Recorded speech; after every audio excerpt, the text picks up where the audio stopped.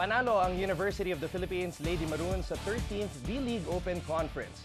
Nasungkit ng Lady Maroons ang kanilang pangalawang panalo sa tournament matapos padapain ang Lady Oragons in straight sets 25-17, 25-17 at 25-19.